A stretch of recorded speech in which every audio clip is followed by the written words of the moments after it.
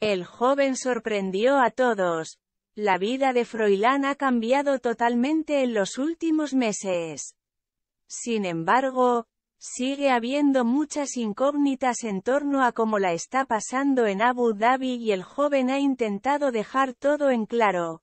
Luego de no volver a España desde que se fue, el hijo de la infanta Elena armó sus maletas a finales de la semana pasada y se tomó un vuelo directo a su tierra natal, para pasar unos días con sus seres queridos.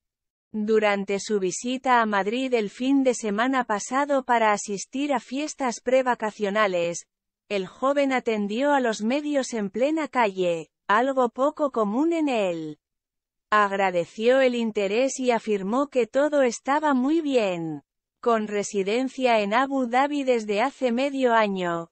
El hijo de Jaime de Marichalar se mostró tranquilo y hasta rió ante los rumores que sugieren la existencia de un informante en su círculo estrecho que filtra datos a la prensa. Primera noticia, respondió con ironía Froilán.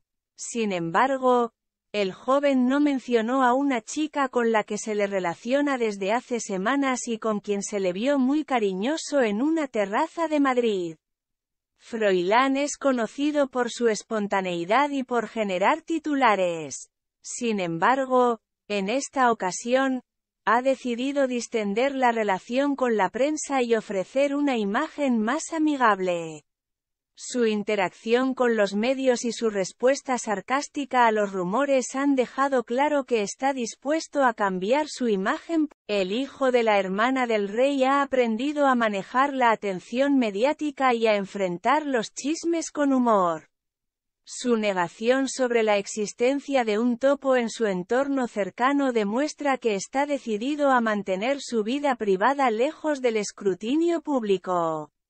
Está dispuesto a cambiar su imagen pública. Froilán se encuentra en un momento de transición, explorando nuevas oportunidades en el extranjero mientras mantiene un vínculo afectivo con su país natal.